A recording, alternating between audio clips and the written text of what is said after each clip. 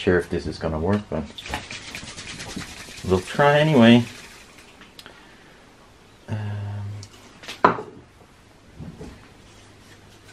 okay, so this is clean, so I'll use this one. This will be my template. Hey, this is the. hmm, Okay. Never mind.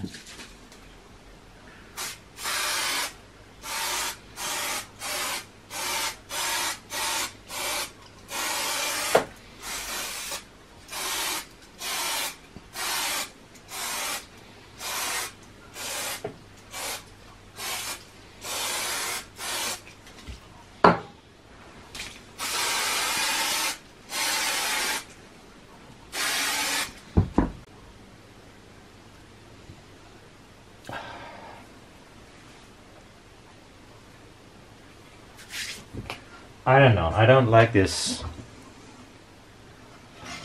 being sticky.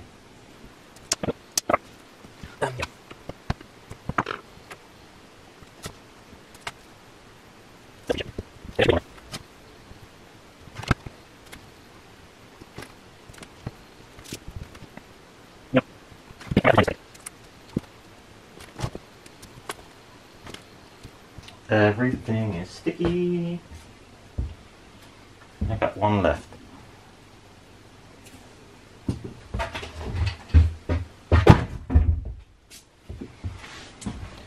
Now I can remove this because this was just a template. Well, I hope I can remove it.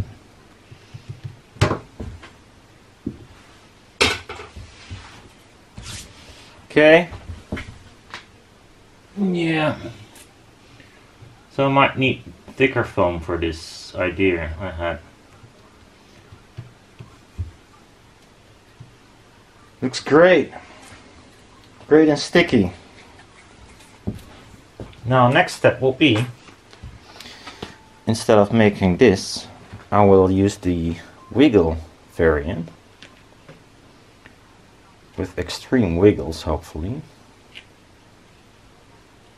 So they have a overlap and there's no like vertical traces where you can see through right now. This is a part that's unsupported, so. This might still be too big. I mean, this width 73, hmm, maybe it works, but I think it might be a little bit too much. so I had an idea, and sorry, I have a cigarette in my mouth. and this is the, the fastest way of checking that because I have this already don't have to glue magnets etc so I'm gonna check something if I can use corrugated foils here with the sticky version I did on my tweeters and a another kind of membrane so here I had like these pieces to give it stiffness sideways some somewhat because normally this resonance would be like 50 hertz, which is, you know, this panel is not meant to be playing 50 hertz. I rather have the have it at like 100 or something or 120. That would be like insanely awesome. But I think this width, which is the only determined factor of the resonance, is probably too big. So I might either need to get this foamy tape more up to the magnet or might have to remove one magnet on both sides. Well, we'll see. Also, it works better if it's like twice as long and then slightly less wide. There's more surface area doing work. Now it's constrained already after 10 centimeters because that's the length of the magnet. But anyhow, this is going to be a fast test if I can replace the foil with something uh, weird. A weird design. So I'm gonna model some new foil. And that's gonna take some time. Then hopefully I cut it today, but maybe I'll leave that for tomorrow. Who knows?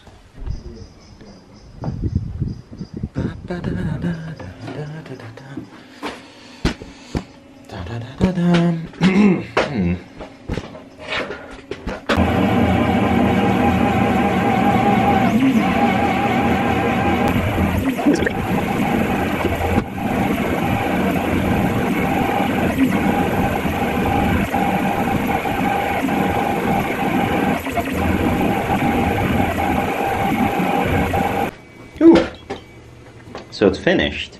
Well, at least. At least nothing ripped. So that's a bonus. But this is. There's not much light here. Mm. So yeah. Wiggly, wiggly, wiggly, wiggly, wiggly, wiggly, wiggly, wiggly. Ooh, look at this. That's cool.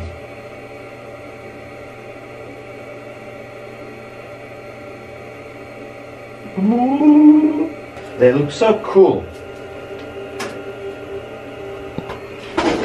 No, wait. No, not focus on the white stuff.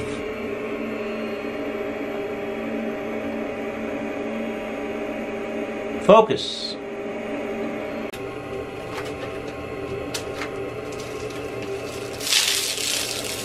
Ah, fuck.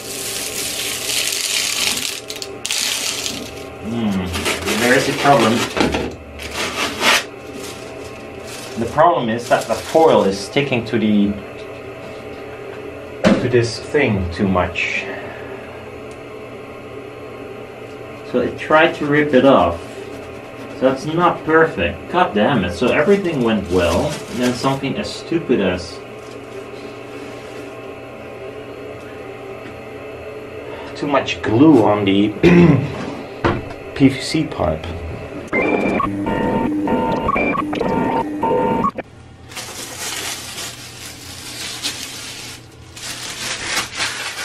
So that's one thing. That works.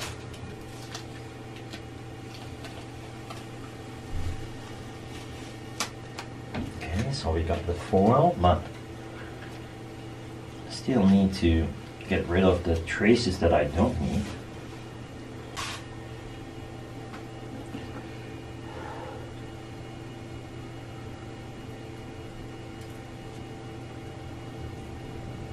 Hmm. Okay, that's one.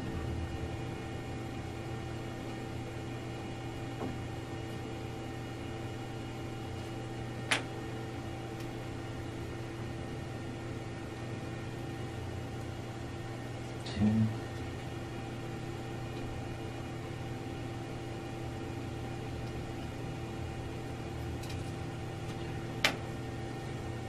Ooh.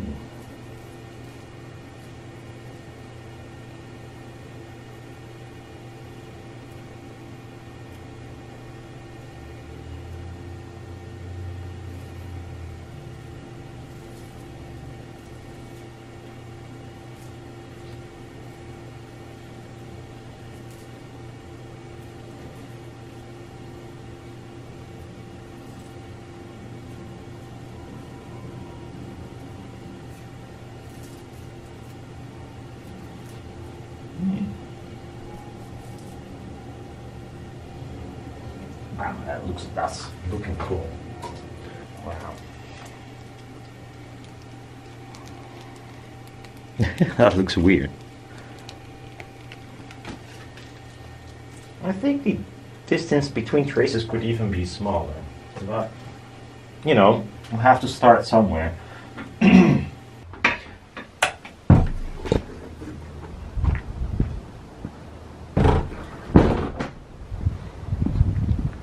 Look, Puss. She has her own pillow. She's like a king. Well, queen. By the way, these rollers, uh, I can I buy them at a uh, art shop. Art shop, art shops are well. for me at least, one of the coolest coolest uh, stores because they have loads of materials for well art but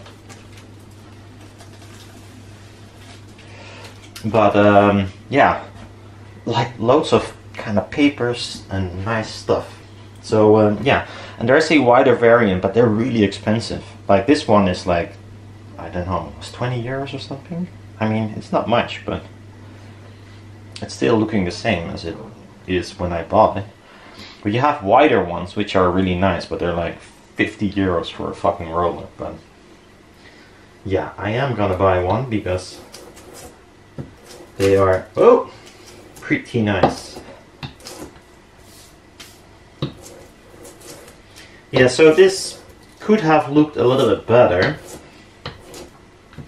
if my uh, mylar on this PVC roll was not like uh, sitting there for 300 years. Because I think that kind of screwed it up. Nothing is fucked. If you look at the fronts of these, they still look quite pleasing and reflective. Yeah, this is never gonna work. Well, anyhow, let's uh, see what kind of resistance we get. I might add a tape here to make it a little bit stiffer. But anyhow, this resistance is not really a big deal. I mean, I'm just playing around, testing this idea. By the way, this has uh, this incorporates one of my ideas that I had before. So it goes wiggle, wiggle, wiggle, and does the whole thing, and then it goes instead of yeah, then one trace is going to be out of out of phase. So if you remember the video last, not last video, but the video before, two ohms. That's quite cool because uh, two of them will be in series. That means four ohms. Slightly higher, maybe 4.2. Who knows? So yeah, cool. And they're a bit too long as well, so I might as well. It might go lower. Hmm. I've recorded this this action like five million times, I think, by now. So now the idea is that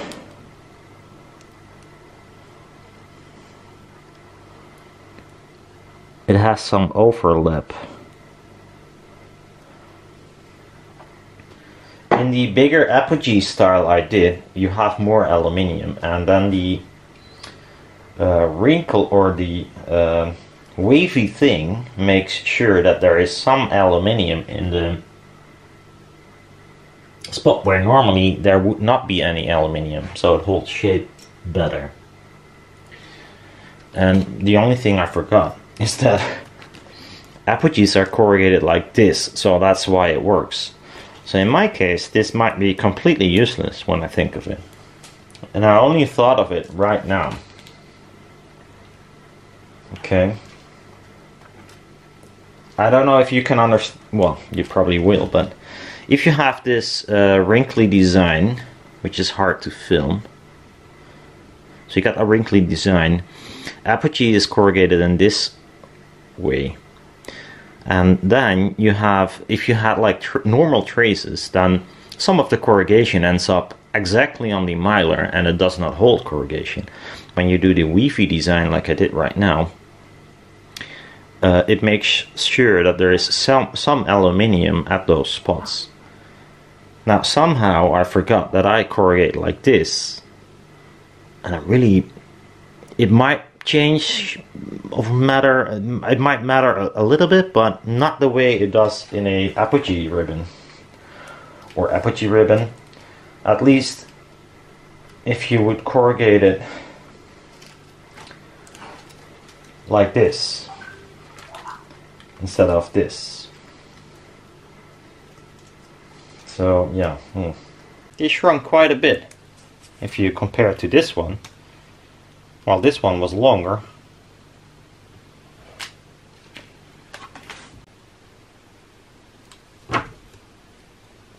I might do one first because I don't even have a clue if this works. So might as well not work at all.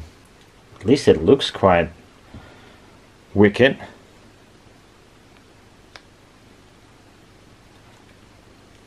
Is there like a bowl?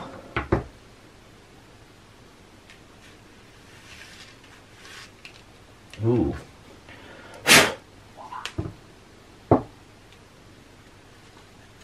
So I hated that aluminium solder, but now I kind of like it. If you know how to use it. Ow, that's fucking hot. Hey, there's my fingerprint in the solder. Okay. So, it's also late, so I'm just gonna try this. I might be putting it in a baffle, though, because I can measure this, but it doesn't say much.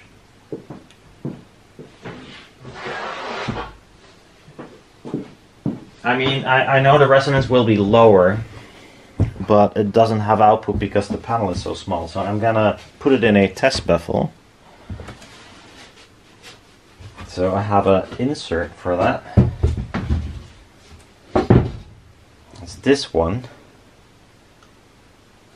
And I foresee some problems already, and that's the uh, that one. Well, let's see, this should be able to fit in here. Good enough, I think. Just add some tape so it doesn't fall out.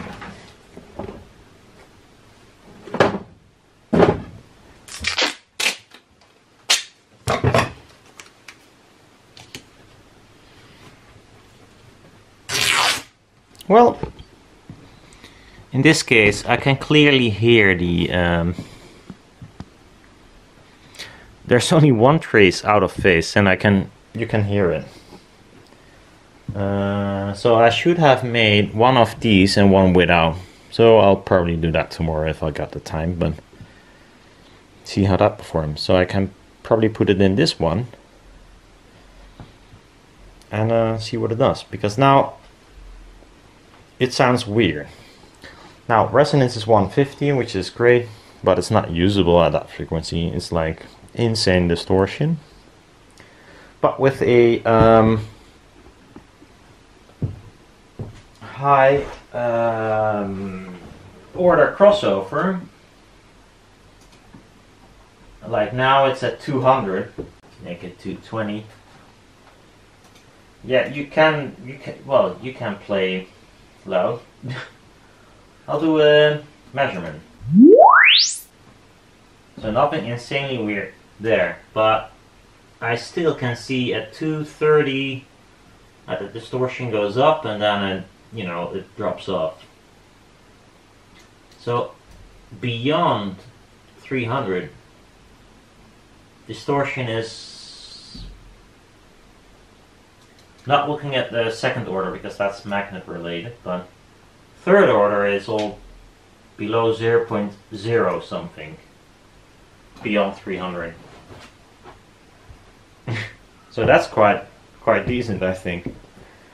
I mean, the highest was 0.03. Beyond 300 hertz. Below that, it rises quite a bit. Ah, well. I'll make another foil and put it in this part without the trace going out of phase and measure them, comparing them, and then put them in series. So that should be okay for low end. See how that goes. Bye bye.